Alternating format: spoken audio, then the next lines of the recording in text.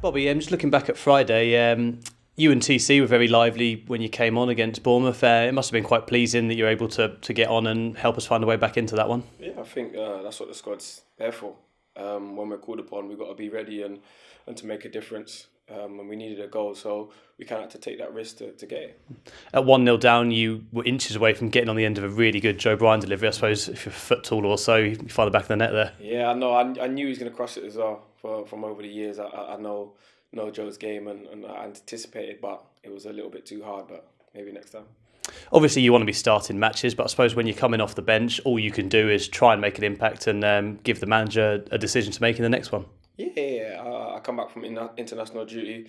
Um, wasn't too well at the time, um, so I know I had to bide my time until I get back in the squad. Um, and, and the minutes I get, I've got to be ready and, and be ready to, to impact the team and, and do good for the team. Are you feeling all right? You're fighting fit again now? Yeah, I'm good now. Um, getting back to my, my, my, full fitness and, and hopefully I can I can get on the pitch and, and show what I can do. You know this division well. How how impressive and how difficult is it to go ten matches unbeaten?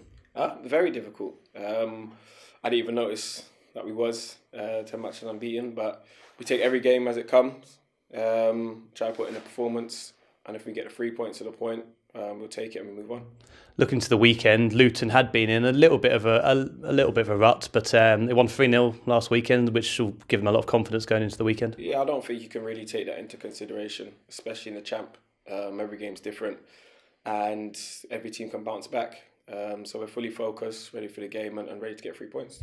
They got some big lads in their team all over the pitch. Do you like those physical battles? Uh, yeah, listen, we're ready for, for whatever any team brings. Um, we respect every team as well and, and how they play, um, but we'll go out there to, to play our football and to win the game.